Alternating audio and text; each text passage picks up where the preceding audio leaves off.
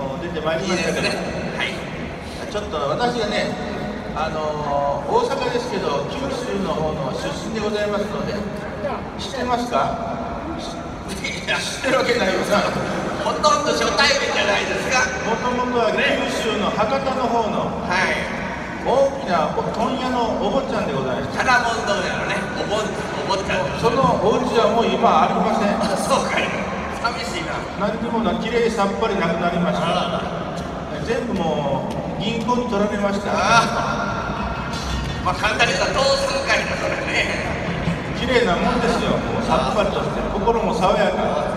それでは私もそういうね、はい九州なんですけども、大阪に来て初めて覚えたのが、僕らま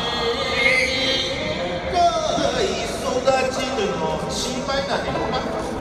はい、えーそれではこうやって美女に囲まれて歌うとよく桜木町のナイトクラブでね、えーホステスさんがよく盛り盛り立ててくれますね。その雰囲気、えー、昨日お金がなかったから桜木町では歌いませんでしたけどもそんな雰囲気で、えー、本末の一生をここでお届けいたしましょう。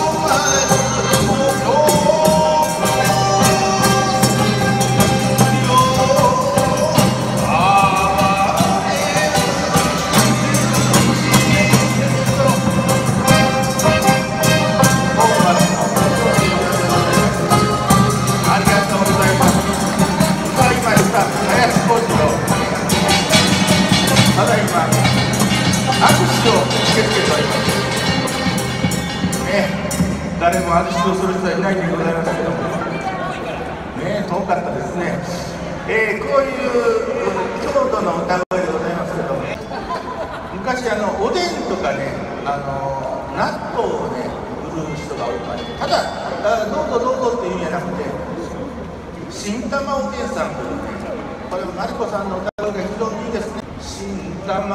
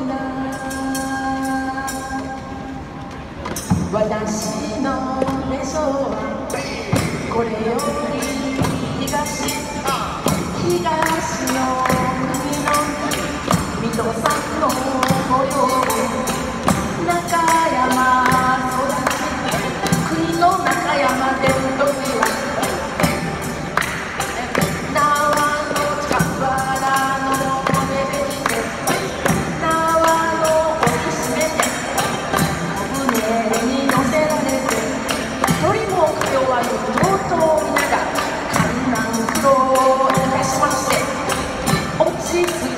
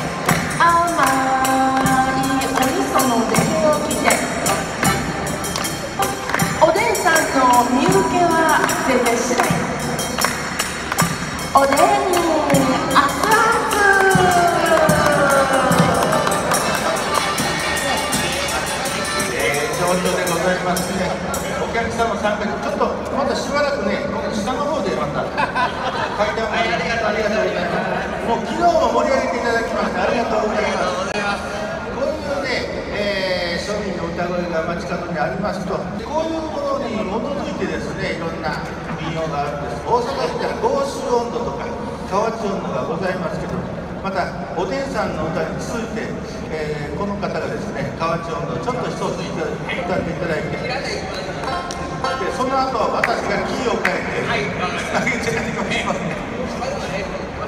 ではあのお兄さんねあのちょっと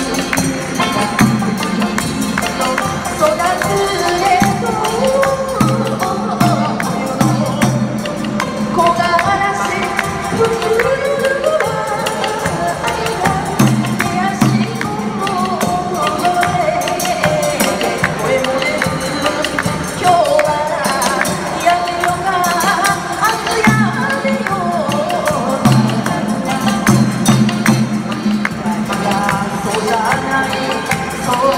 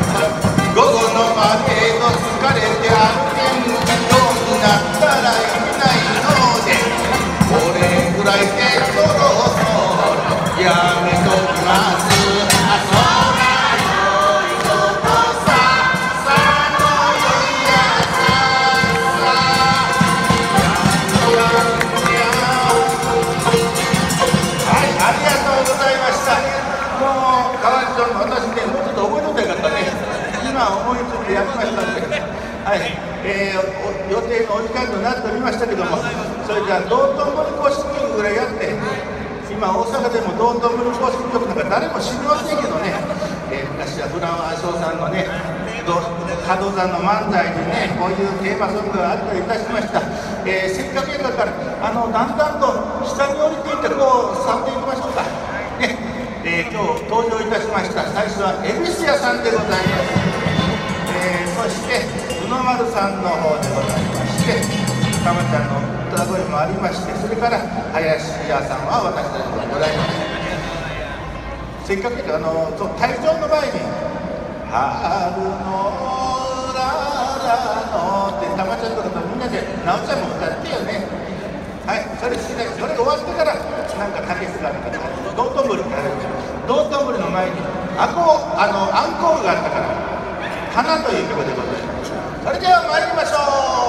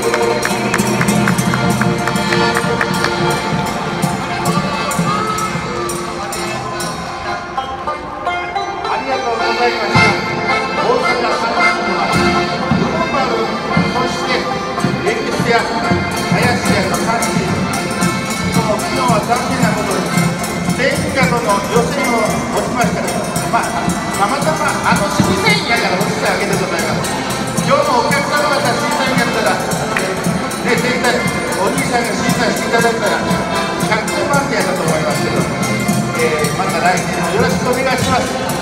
この後パレードです。皆様どうぞご声援をよろしく。ありがとうございました。はいどうぞこちらから。お展開へと参ります。お写真とかそういうやつはどんどん撮ってください。お好きな方はどうぞ。エビさんテントにお呼びください